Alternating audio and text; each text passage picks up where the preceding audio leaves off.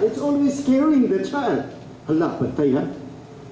Hilak ka ni ka baby, naiwakwak. Naisigbin. Okay, it was always like that when we were small.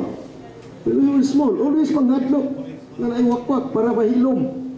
You see? Hala na si Kwano. Pakon ka na karon. Ikaw po, you know, you develop already that fear and growing up. Kasi pagtabok sa kalsada, hadlok yung kaayaw, maligsa na lang yun.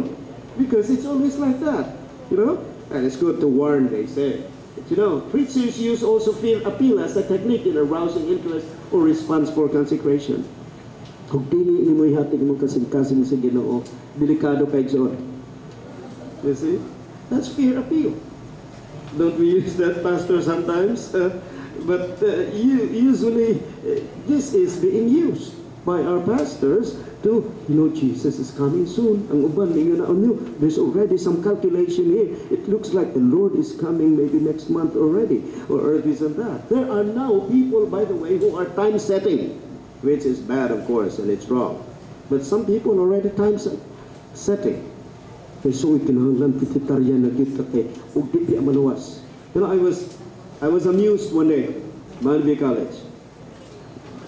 We were eating ISA, International Student Association, about 70 plus of them at the house. And so some of them cooked chicken outside. All right. So some were coming from Germany, Saudi Arabia, you know, and some coming from Papua New Guinea, Laos, Cambodia, Vietnam, Thailand, Malaysia, Indonesia, uh, all those, Marshall Islands, Guam, Papua New Guinea,